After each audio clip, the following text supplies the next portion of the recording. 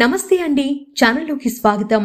మారుతున్నటువంటి గ్రహస్థితి వల్ల శనిగ్రహం యొక్క ప్రభావం వృషభ రాశి వారికి ఎటువంటి ఫలితాలు కలుగుతాయి? వృషభ రాశి వారు చేసుకోవలసిన దైవ ఆరాధనతో పాటుగా పరిహారాలను ఈ వీడియోలో మనం తెలుసుకుందాం.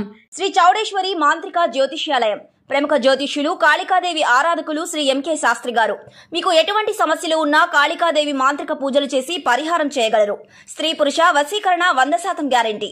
ఫోన్ నెంబర్ తొమ్మిది సున్నా మూడు ఐదు ఎనిమిది ఎనిమిది ఎనిమిది సున్నా ఆరు తొమ్మిది. ఇక ముఖ్యంగా ఈ సమయంలో మీరు ఎదుటివారితో పరిచయాలు పెంచుకునేటప్పుడు ఎదుటివారు ఎటువంటి వారు అని తెలుసుకొని వారితో ప్రయాణం సాగించాలి. అది ఉద్యోగరీత్యా అయినా వ్యాపారవేత్త అయినా సరే. శని జనవరి పదిహేడవ తేదీన మకర రాశిని వీడి కుంభరాశిలోకి ప్రవేశించాడు. అంటే మీ కర్మస్థానంగా చెప్పబడి ఉంది.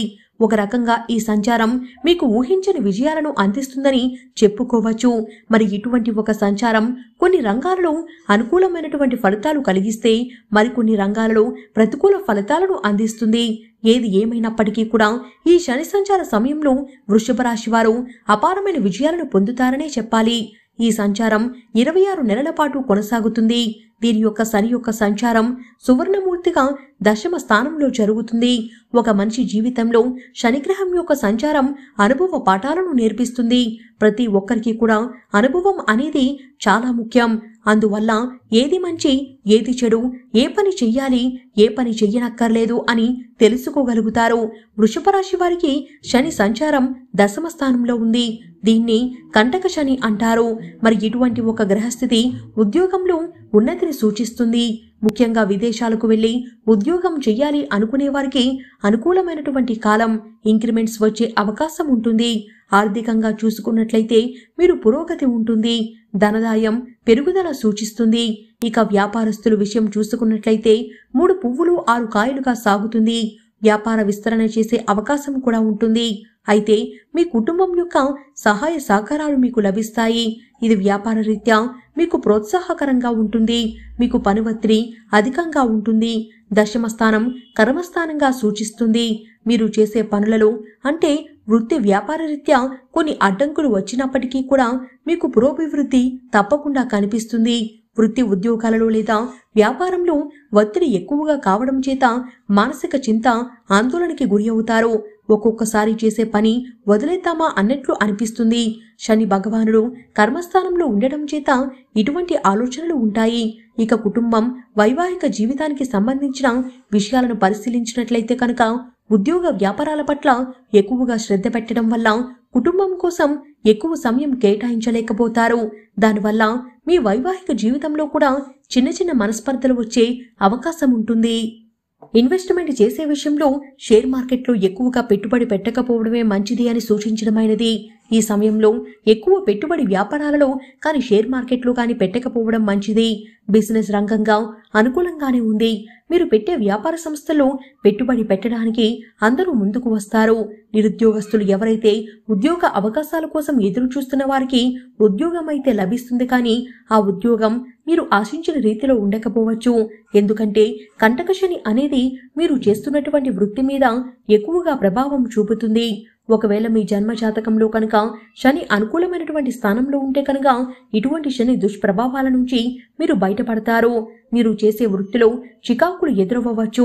మీ సహ ఉద్యోగుల సహకారం మీకు అందకపోవచ్చు. అయినప్పటికీ కూడా అంతిమంగా మీరు చేసే పనిలో మీరే విజయం సాధిస్తారు. మీరు ఉద్యోగంలో మీరు చేయాల్సిన పని వరకు మీరు సక్రమంగా చేస్తే మీ సహ ఉద్యోగులు ఎవరైతే మీకు ఇబ్బందికరంగా ఉన్నారో వారిని మీ పై అధికారులు గుర్తించి గుణపాఠం చెప్తారు. కాబట్టి ఓర్పు వహించండి. మీ పని మీరు మౌనంగా చేసుకోవడం వల్ల మీకు పేరు ప్రఖ్యాతులు పెరుగుతాయి. ముఖ్యంగా స్త్రీలకు ఒక్కొక్క మెట్టు తమ కెరియర్లో పైకి ఎక్కే సూచనలు ఉన్నాయి. సంఘంలో పేరు ప్రఖ్యాతులు ఉన్న వారి సహాయ సహకారాలు మీకు లభిస్తాయి. శని మందగమనుడు కాబట్టి మీ కష్టానికి కొద్దిగా ఆలస్యంగా ప్రతిఫలం లభిస్తుంది. ఈ సమయంలో మీరు ఓర్పుతో ఉండాలి. రిజల్ట్ మీకు ఆలస్యంగా వచ్చినప్పటికీ కూడా విజయం మీదే అవుతుంది. విద్యార్థులు శ్రద్ధ పెట్టి చదవవలసి ఉంటుంది. మీ ఏకాగ్రత లోపించవచ్చు. సోషల్ మీడియాకి దూరంగా ఉంటూ మీ చదువుపైన శ్రద్ధ పెట్టండి. సంతానం కోసం ప్రయత్నం చేసేవారికి శుభవార్త వినడానికి మరికొద్ది కాలం వేచి ఉండాల్సిన పరిస్థితి ఉంటుంది. అలాగే వ్యాపారస్తులు కూడా ఫలితం ఆలస్యంగా వస్తుంది అన్న విషయం తెలిసిందే. కాబట్టి శ్రమపైన మీరు దృష్టి పెట్టండి. కష్టపడినట్లయితే మీకు ఆలస్యంగానైనా ప్రతిఫలం ఖచ్చితంగా లభిస్తుంది. ఈ సమయంలో ఓర్పుతో ఉండడం అవసరం. నిరుద్యోగస్తులు కూడా ఏదో ఒక వృత్తిలో ఉద్యోగంలో లేదా వ్యాపారంలో సెటిల్ అవుతారు. ఇక వ్యాపారస్తులు వ్యాపార విస్తరణ కూడా చేస్తారు. ఎక్కువగా ఈ సమయంలో వృషభ రాశి వారు మీ బాధ్యతలపైన ఎక్కువ దృష్టి పెట్టవలసి ఉంటుంది. ఉద్యోగంలో మీకు కావలసిన సహాయం కొద్దిగా ఆలస్యం అందినప్పటికీ కూడా సహాయాన్ని పొందుతారు. కొంచెం ఓర్పుతో వహించండి. ఈ సమయంలో మీకు ఆర్థిక పురోగతి కనిపిస్తుంది. అలాగే మీరు సౌకర్యాల కోసం ధనాన్ని ఖర్చు చేస్తారు.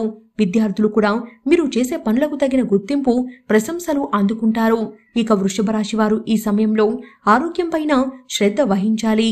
మీరు యోగా ధ్యానం మెడిటేషన్ వంటివి ప్రతిరోజు ప్రాక్టీస్ చేయాలి. ఇది మీ ఆరోగ్యాన్ని కాపాడుతుంది. అలాగే మీరు తీసుకునే ఆహారంగా కూడా పోషకాహారంగా ఉండేలా చూసుకోండి. అది కూడా ప్రణాళికాబద్ధంగా సమయానికి పోషకాహారం తీసుకుంటే కనుక మీ ఆరోగ్యం మెరుగుపడుతుంది. అనారోగ్య సమస్యలన్నీ దూరంగా ఉంచవచ్చు. మీరు చేసేటటువంటి వృత్తి ఉద్యోగాలలో చిన్న చిన్న ఆటంకాలు ఎదురవ్వవచ్చు. ఒక్కొక్కసారి ఉద్యోగం చేస్తున్న వారు కూడా సడన్గా ఆపేసి వ్యాపారంలోకి మారతాము అనేటటువంటి ఆలోచనలు శని భగవానుడు కల్పిస్తాడు. అందులో రాణించలేము అని తెలిసినా కూడా ఇటువంటి ఆలోచన చేత మళ్ళీ వ్యాపారానికి వచ్చి ఇందులో రాణించలేక మళ్ళీ తిరిగి తప్పు తెలుసుకొని ఉద్యోగానికి వెళదాము అని మీకు అనిపిస్తుంది. అందుకోసం ముఖ్యంగా మీరు చేసేటటువంటి వృత్తి ఉద్యోగాలలో నిబద్ధతను సమయ పాలన కలిగి ఉండాలి. చెడు వ్యసనాలకు బానిసలు అవ్వకండి. ముఖ్యంగా శనివారం నాడు మద్య మాంసాలు తీసుకోకండి. విదేశాలకు వెళ్ళి ఉద్యోగం చెయ్యాలి అనుకునే వారికి అనుకూలమైనటువంటి కాలం ఇంక్రిమెంట్స్ వచ్చే అవకాశం ఉంటుంది. ఆర్థికంగా చూసుకున్నట్లయితే మీరు పురోగతి ఉంటుంది. ధనదాయం పెరుగుదల సూచిస్తుంది. వృషభ రాశి వారు ఈ సమయంలో చేసుకోవలసిన దేవతారాధన అలాగే పాటించవలసిన పరిహారాలను చూసుకున్నట్లయితే ఇక ఈ సమయంలో మీరు సంతాన గోపాలకృష్ణ మంత్రం జపించవలసి ఉంటుంది. అలాగే శని యొక్క దోషాలు తొలగించుకోవడానికి నవగ్రహ స్తోత్రంలో ఒకటైనటువంటి శనిగ్రహ స్తోత్రాన్ని మీకు వీలైనన్ని సార్లు జపించండి. అలాగే శనివారం నాడు నల్లని ద్రాక్షరసంతో శని భగవానుడికి అభిషేకం చెయ్యాలి ఇలాంటి చిన్న చిన్న పరిహారాలు చేసుకోవడం వల్ల శని గురించి భయపడకుండా దోషాలను తగ్గించుకోవచ్చు. మూగ జీవాలకు అనాథ పిల్లలకు ఆహారాన్ని అందించండి. ఇలా చేయటం వల్ల గత జన్మలో మీరు తెలిసి తెలియక చేసిన పాపకర్మల ఫలితం తగ్గుతుంది. వీలైతే శనివారం నాడు ఒక పూట భోజనం చేయండి. ఈ శని సంచార సమయంలో కాలభైరవ అష్టకాన్ని పారాయణం చేయడం మంచిది. అలాగే శనివారం నాడు ప్రదోష సమయంలో నువ్వుల నూనెతో దీపారాధన చేయటం అనేది విశేషమైనటువంటి ఫలితాలను అందిస్తుంది. శనికి సంబంధించిన అంటే శని భగవానుడికి ఇష్టమైన వాటిని దానం చేయడం వల్ల శని ప్రభావం నుంచి కొంతవరకు తప్పించుకోవచ్చు.